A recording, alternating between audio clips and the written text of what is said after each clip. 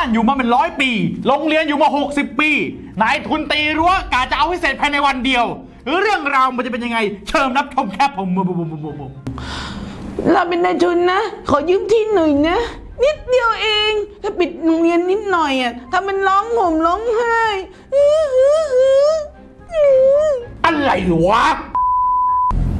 เรื่องราวเนี่ยนะ มันก็ไม่มีอะไรเป็นพิเศษมาก มันแค่เริ่มต้นจากชาวบ้านเขาไปอยู่ที่ดินตรงนั้นน่ะ อยู่มาตั้งแต่รุ่นพ่อ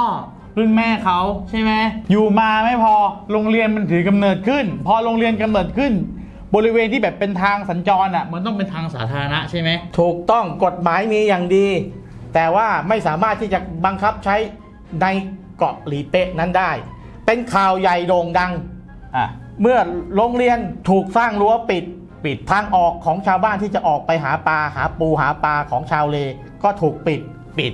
เออด้วยฝีมือของนายทุนที่จะสร้างรีสอร์ทสร้างโรงแรมสรุปเขาจะสร้างรีสอร์ทเหรอ ใช่แล้วอะมหากาพย์เรื่องนี้นะ ต้องบอกเลยว่าไม่ธรรมดา เพราะว่ามันมีเรื่องราวเกี่ยวกับอุทยานด้วยใช่ไหมเอ้ยพอเป็นข่าวใหญ่โตเนี่ยโอ้โหเหมือนกับว่ากระทรวงทรัพย์ก็รู้สึกเอ้ยอย่างนี้ไม่ได้นะเรารักความยุติธรรมเพราะว่ามันใกล้จะเลือกตั้งใช่ไหมเลขารัฐมนตรียุติธรรมครับก็ไป บิ๊กโจ๊กก็ไปครั้งแรกที่ไหนที่ไปเนี่ยครับมันไม่ใช่ครั้งแรกไงเออมีมาหลายครั้งแล้ว เรื่องราวแบบนี้นะ มันมีมาตั้งแต่ปี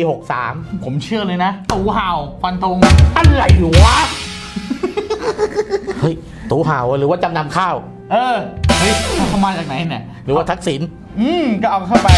โอเคโอเค เรื่องราวจะเป็นยังไง แต่ต้องบอกนะอุทยานแห่งชาติเคยฟ้อง คนที่เขามาลุกล้ำที่ดินที่อยู่บริเวณอุทยานใช่ไหมลุงกี่คดีครับ 40 คดีใช้เวลาเป็น 10 ปี ยังไม่จบสักทีทั้ง 40 คดีเลยเหรออ่าไม่เสร็จสักคดีเลยอ่าเพราะเขาไปไหนเห็นวะนั่นนาทีแล้วกระทรวงทรัพย์เพิ่งจะมาเพิ่ม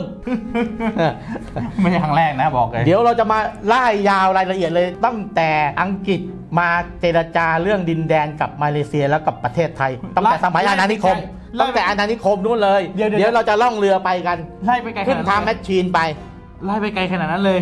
เพื่อจะได้รู้ไงอะแล้วแต่ลุงก็เลย อะไรวะ โอเคครับลุงไหอืนมๆก็จะไล่ยาวแล้วคลิปนี้ต้องประมาณ 30นาทีเป็นอย่างต่ำแน่เลยอะลุงเชิญ คืออย่างนี้ เมื่อ 300 ปีที่แล้ว ชาวอูรักลาโวยอูแล้วเราโว้ย อ่าเขาได้อพยพมาอยู่ที่นู่น ที่ไหน มาจากหลาย ๆ ที่มาอยู่ที่นู่นไง ที่ไหนล่ะ ที่นู่นนะ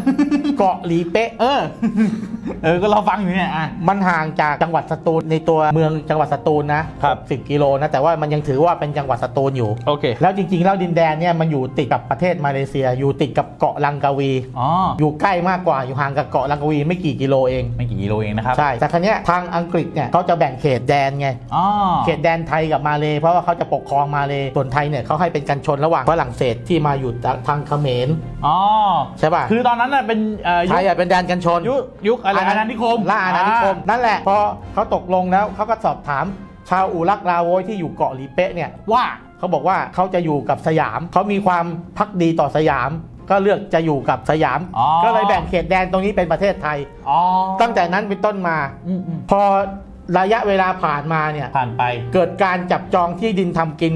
บนเกาะหลีเป๊ะอือฮึ เขาก็จะออกสคหนึ่งแล้วข้อหนึ่งคืออะไรสคหนึ่งเนี่ยคือที่ดินที่แบบใครไปจับจองปลูกผักปลูกข้าวปลูกอะไรทำอะไรก็อยู่กันไปเลี้ยงวัวอะไรก็อยู่กันมีไประยะเวลาไม่ต้องไปอยู่กี่ปี คือสคหนึ่งคือเขาใครที่อยู่ตรงนั้นอะเขาเริ่มให้มีออกสคหนึ่งรับรองโดยกำนันกำนันนะ ใช่ แสดงว่าเรื่องเรื่องที่เกิดขึ้นเนี่ย มันก็ต้องมีกำนันเกี่ยวข้องด้วยใช่ไหม สำคัญเลยเป็นตัวละครสำคัญของเรื่องนี้ โอเค พอเขาอยู่กันมาเนี่ย300 ปี 200 ปี 100 ปีไล่หลังมาเรื่อยๆ ก็มีชาวมอร์แกนอะไรที่จังแถวกระบี่แถวอะไรก็ไปรวมอยู่เหมือนกัน อืม อะคราวนี้พอเขาเริ่มให้มีจับจองสคหนึ่งปุ๊บเนี่ยชาวบ้านก็เริ่มเริ่มใครที่อยู่ตรงนั้นก็บอกไปกำนันก็มาสอบถามไงครับ ยุติธรรมตอนนั้นเขายังยุติธรรมอยู่ตอนนั้นอยู่ เพราะว่าเอ่อยังไม่รู้อะไรเป็นตออะนไรนั้นเงินยังไม่มา ยังไม่มา เมื่อความยุติธรรมเจอเงินเข้าไปเท่านั้นแหละ มันแล้วแอนแล้วพอเรื่องเงินมาก็จะกลายเป็นอย่างอะนี้ คราวนี้กำนันก็รับรองไปไงว่าอะนายดำอครับยู่ตรงนี้นะปลูก อันนี้ 3 ไร่ อันนี้ 2 ไร่ก็จดชื่อลงไป คือสรุปแล้วมีถ้ารายกับชื่อหมดเลย ทุกคนก็เป็นสคหนึ่งอยู่ในมือโอเคใช่ป่ะมีลูกมีหลานก็ทำกินกันต่อต่อเนื่องมา แล้วเมื่อปีอืม53 รัฐบาลเนี่ยมีความหวังดีต่อประชาชนที่เอ่อบางที่ก็มีสคหนึ่งอยู่แล้วใช่ไหมครับอยากจะให้มีแบบเป็นมรดกให้กับลูกหลานได้ทำกินต่อไปให้ความมั่นคงกับชีวิตอืมก็สามารถจะเอาสคหนึ่งเนี่ยมาแปลง เพราะว่าเขาไม่สามารถจะขอเพิ่มได้แล้วเพราะตอนนั้นอะมันจะเริ่มมีโฉนดมีอะไรแล้วใครจะไปจับจองที่เพิ่มไม่ได้ง่าย ๆ แล้วอืมเอ่อจากสคหนึ่งที่จะเปลี่ยนเป็นนสสามอือฮึนสสามนี่ก็จะกลายเกือบเกือบจะเป็นโฉนดที่ดินแล้วนสสามเป็นอะไรขอละเอียดนิดเดียว คือสคหนึ่งเนี่ยมันจะรับรองโดยกำนันโอเคนสสามเนี่ยจะกลับไปอยู่ที่กรมที่ดินแล้วเริ่มจะกลายถ้าหลังจากอ๋อเริ่นั้มนเป็นทางการมากขึ้น ใช่แล้วจะกลายเป็นโฉนดแล้วโอเคโอเคคราวนี้ระหว่างนั้นน่ะคนที่รู้เรื่องอะที่อยากกำนันจะเป็นคนรู้เรื่องดีที่สุด คนที่ใกล้ชิดกับกำนันก็จะรู้เรื่องแต่ชาวบ้านน่ะไม่ไม่สามารถที่จะเข้าถึงข้อมูลนี้ได้ ไม่รู้เรื่องก็อยู่ชาวเลกับทำมาหากิน กันไปจับหอยจับปูเลี้ยง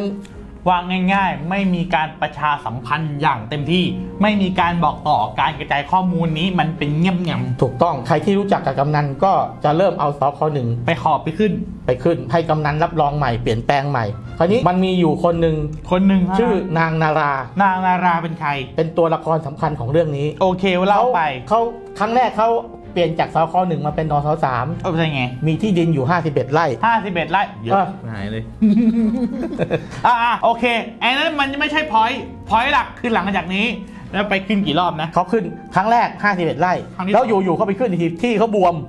ทำไมลงไม่รู้มันบวมออกมา มันคลอดลูกเป็น อะ 80 ไร่ แล้วเขาไปอีกทีหนึงบวม มันเป็น 140 ไร่ฉันนารานะคะ ไม่ใช่เคปกระเทย แต่วันนี้จะมาขอที่ดินเพิ่มขึ้นนะคะ อ๋อสคหนึ่งใช่ไหมได้เลย จะขอเป็นนสสามเดี๋ยวกันนันเซ็นให้ห้ารอบแรกฮะรอบแรกกี่ที่นะ รอบแรกเอาไปเลย 51 ไร่ ขอรอบที่สองรอบที่2เอาเลย 80 ไร่ รอบที่สามด้วยแล้วกัน เอาไปเลย 140 ไร่ แสดงว่าสนิทกันมากๆเลยนะเนี่ย แน่นอน เดี๋ยวเดี๋ยวเดี๋ยวเดี๋ยวเดี๋ยวเดี๋ยวเดี๋ยวกี้เนี่ยนะเออเขาอยู่เองทั้งหมดเลยหรือไง เออบนเกาะนี้นะมีอยู่ 300 ครัวเรือนสามร้อยกว่าเรือน อ๋อ คือเขาเขาตีว่าเขาเป็นเจ้าของหมดเลยเหรอเออกลายไปไกลมาเขาจะกลายเป็นเจ้าของเกาะซะแล้วแต่คราวนี้ชาวบ้านก็แบบก็ยังไม่รู้เรื่องนะ จนถูกเขาไล่ไล่ที่ไปเรื่อยๆ ฟ้องเท่าไหร่ก็แพ้ เพราะชาวบ้านบริสุทธิ์ใจบอกว่าก็อยู่มาตั้งแต่เป็นร้อยปีตั้งแต่รุ่นบรรพบุรุษเขาเออ เขาก็คิดว่าไม่มีใครจะมาแย่งที่ดินของเขาไปได้ ใช่ สุดท้ายแล้วก็เพราะว่ามันมีโฉนดที่ดินอะไงมันมีชัดๆอีกครั้งหนึ่งตอนปี ทำไมลุง63ที่ที่เป็นสุสานของของคนมุสลิมเนี่ยเขาเรียกว่ากูโบใช่ครับกูบอกอ่าเขามีมีที่แบบกว้างสำหรับไอ้ฝังฝังของของคนคนเสียชีวิตของอ่า ของคนมุสลิม โอเคไม่ต้องไปนอนอันนี้ ต่อเลยก็นี่แหละ นางนาราฟ้องว่าเขาได้นสสามมาแล้วศาลตัดสินนะคนคนเดียวกันเนี่ยนะใช่ อืมต่อเลย ศาลตัดสิน ว่าเขาชนะคดีกูโบที่จะเป็นไร่เนี่ยเหลือเหลืออยู่ไม่กี่เมตร อันนั้นก็คือครั้งหนึ่งตอนนั้นก็หึ่มห้ามกันใหญ่กระทรวงแบบนี้เลยทรัพย์แบบนี้เลยเหมือนกันแบบนี้แหละเขาทำเป็นเป็นเออเป็นผักชีคือศาลอะเขาตัดสินตามหลักฐานของกฎหมายของใครอะของนายทุน ของในทุนที่เขาไปออกโฉนดโอเคของกรมดีมากที่ดิน เพราะฉะนั้นสุดยอดเขาไม่ไม่พิสูจน์ไม่มีการนำสืบพยานไม่มีไม่การ มีภาพถ่ายดาวเทียมที่แบบย้อนอดีตอะไรไปไม่มีไม่มีจริง ๆ แล้วเขาทำได้นะเดี๋ยวแต่ว่าเขาไม่ทำ มันเป็นสรุปสารเนี่ยมันเป็นสารอะไรที่เขาเป็นสารแพ่งเหรอที่คุยกันนึกว่าเอเออ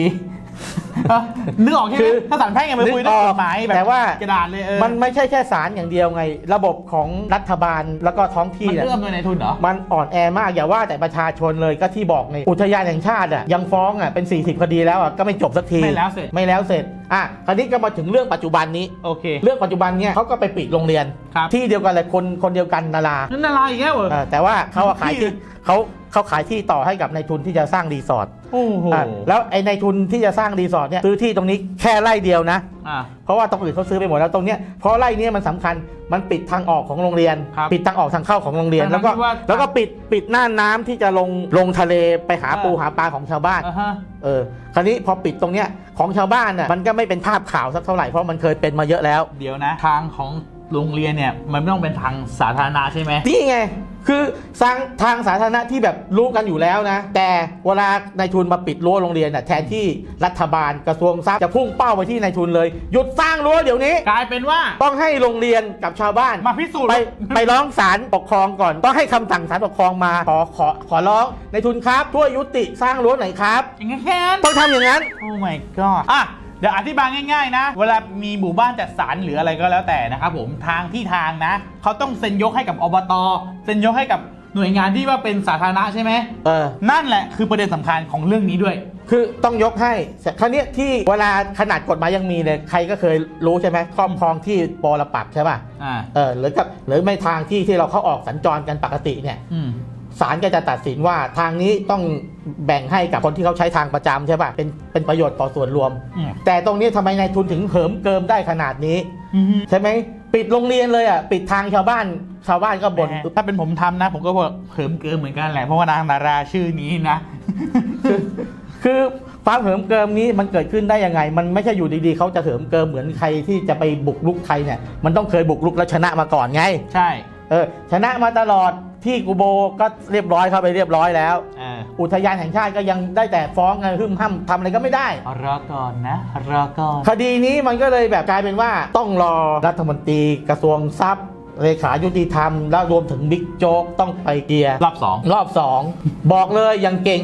ทำได้แค่ไหนรู้ไหมทำได้ไงไหนขออนุญาตตอนนี้เขาก็ทำอะไรไม่ได้นะได้แต่ไปบอกว่าให้ไปสนับสนุนให้ชาวบ้านกับโรงเรียนเนี่ยไปร้องศาลปกครองแล้วก็ให้คำสั่งศาลปกครองมาขอร้องให้เขาหยุดหยุดก่อสร้างทำได้แค่เนี้ยมันเกิดอะไรขึ้น เออทั้งๆที่ว่ามันเป็นทางสาธารณะใครๆก็รู้มีโรงเรียนมีนู่นมีนั่นมีนี่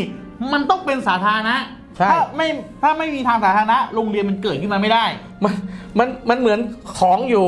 เงินอยู่ในกระเป๋าเราอะแล้วเขามาล้วงไปแทนที่จะไปจับเขาว่าเขามาลักทรัพย์เรา เราต้องพิสูจน์ว่าเงินในกระเป๋าเราเนี่ย หากินมาสุจริตหรือเปล่า มันใช่ไหม พิลึกกึกกือมากเรื่องราวของเกาะหลีเป๊ะเนี่ยมันไม่เหมือนที่อื่น มันมีอิทธิพลอะไรขนาดไหนยังไง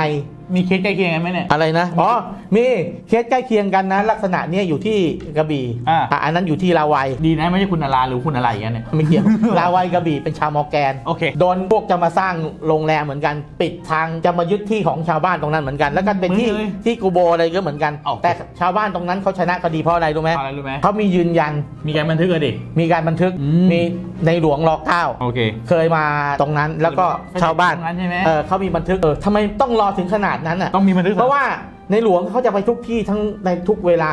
ช่วยประชาชนได้แบบนั้นมันไม่ได้ไง แต่คือตรงเนี้ยตรงเกาะลีเป๊ะเนี่ยนะ ไม่มีเหตุการณ์อย่างนั้นเกิดขึ้นใช่ไหมครับ ไม่มีไงก็มีแต่ชาวบ้านบอก แล้วก็มีบันทึกประวัติศาสตร์ก็แบบชาวบ้านไม่มีการบันทึกเป็นลายลักษณ์อักษร แล้วศาลก็ตัดสินไปทั้งอย่างนั้น ที่ดินก็ออกนสสามไปทั้งอย่างนั้น แต่ตอนที่ว่าในหลวงรอเก้ามาเนี่ยนะ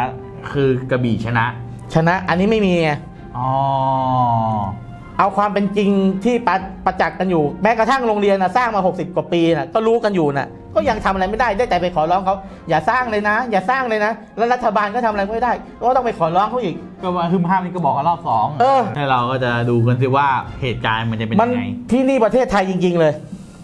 ที่นี่ประเทศไทยบอกขอบอกเลยประเทศกูมีมีทุกอย่างอะนะที่กูมันต้องอ่าการเรื่องราวจะเป็นยังไง เดี๋ยวเราก็ต้องติดตามกันต่อไป ใช่ครับผมแล้วอ่าพบกันใหม่คลิปหน้านะครับสำหรับตอนนี้ก็ต้อง